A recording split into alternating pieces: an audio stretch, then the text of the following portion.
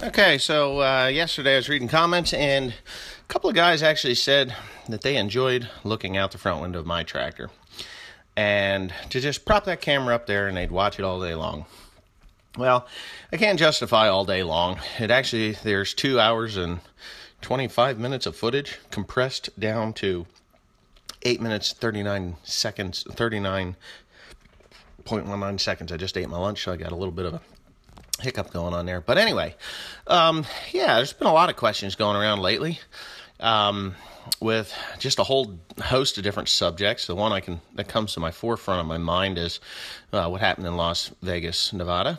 And how I feel about it. Well, I think I feel like 99.99% of the people that uh, were born and raised in this country uh, with the freedom and the rights to keep and bear arms, that this guy was a fucking nut, and he is now going to cost us some more freedoms because of his selfish actions, uh, heinous actions. I mean, just absolutely no rhyme or reason for it, and that's why this sort of thing happened. Um, I was always told by my father if you want to get away with something, don't tell anybody anything about what you're about to do or what you have done, and you will get away with it. And, you know, not like I ever did that or anything, but, you know, it's just the truth. I mean, if you're going to do something, it's, just shut up, you know. And he successfully did that. He didn't tell his girlfriend, he didn't tell his family, he didn't tell his friends, he didn't tell the gun store that maybe he was planning any of this stuff, and he carried out a very heinous crime where 58 people lost their lives and hundreds and hundreds of others were maybe you know, well, their lives are changed forever. Even if it was just a graze wound or a through and through, their their lives are changed forever. So um, I condemn that sort of activity. I am a gun owner. Um, I actually like to go shoot target practice, long range, and other things like that that you do not see on YouTube because I keep it to myself.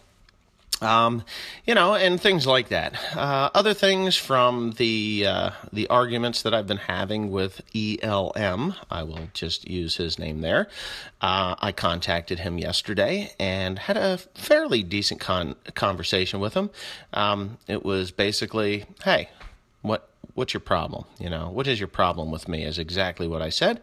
And uh, he said that he really didn't have a problem with me other than what I said about his wife. And, uh, you know, I told him that, um, you know, um, I, I, was just retaliating for what he had done to me. And uh, it was childish and uncalled for. And, uh, you know, that's that. It'll be the end.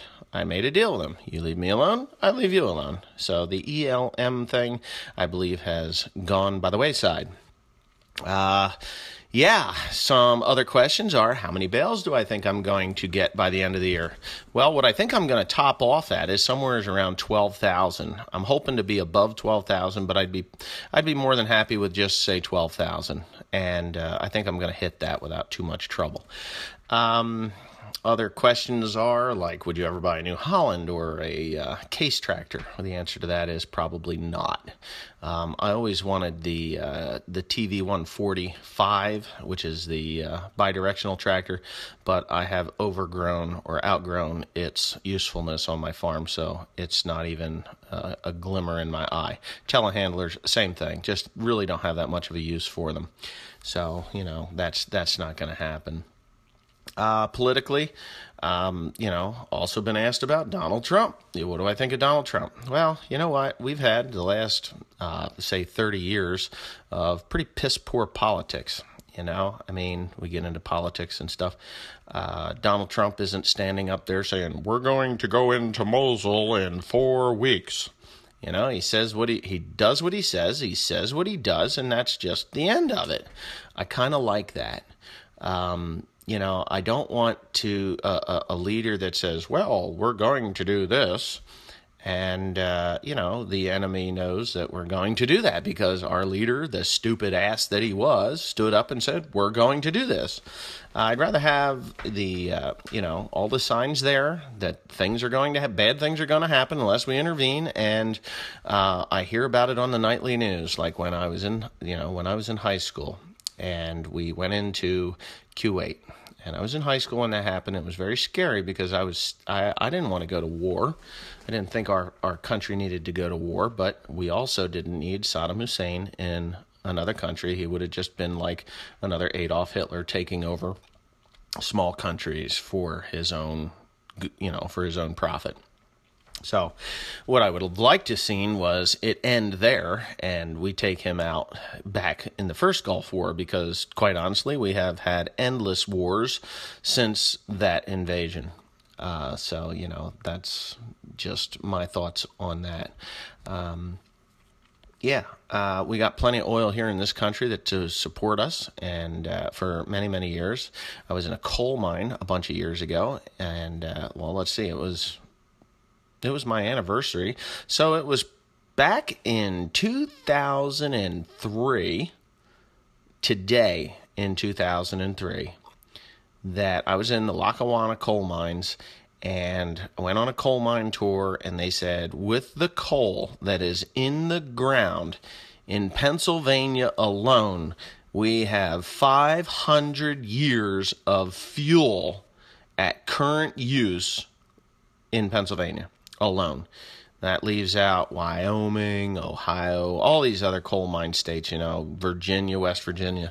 All those coal mine states are, you know, there's there's literally thousands of years worth of energy still in the ground in the form of coal. So, you know, do we really need to be fighting wars over oil when you can go up to say North and South Dakota and just pump it in Wyoming. I mean, I've been out there. I've seen the oil oil rigs and stuff. So, you know, bring our boys back. You know, defend our own country. Kind of become uh, an independent, uh, like we're supposed to be independent from the rest of the world. Uh, I don't say you know be a recluse, but you know we don't need to to rely on a bunch of towel heads that want to kill us. You know, we just don't need to be there. So I'm hoping you're enjoying this um, cab view or window view of my my tractor here because it it really was three you know over two and like two and a half hours of footage. Um, and in the title it says for those who can't, and that's exactly what this is. This video is for all the guys that can't currently be in a tractor and are say overseas in Singapore or anywhere in the world. Uh, I jammed it up there. That's why I stop you get going at such a rate of speed and you'll get a wet spot or a clump in the hay. And these windrows really are monster monster windrows so yeah. And it's the Krone is working wonderfully. I have you know my $9000 uh, front end is now where it needs to be uh, fixed, and uh, we're good to go. So down the road I go. I'm gonna go on to the next farm. Uh, Desperado has decided that he's going to farm some ground, and he ended up in the hospital, and he had no way of getting his hay made. So his daughter called me up and said, "Hey Wesley, can you come and bale this hay?" Of course, I had to rake it and bale it, but that's where I'm going now. I'm going to do a favor for my friends. And, uh, you know, because one hand washes the other around here. If you have somebody that, you know, you're friends with and they, they have a problem like George had, and, uh, you know, hey, just could you please help me out? And uh, life is good. We help one another out. And hopefully he will be back in the saddle again Mr. Desperado and making hay for his daughter's beef herd. And that's the end of that. Hope you enjoyed it. Please comment, rate, and subscribe.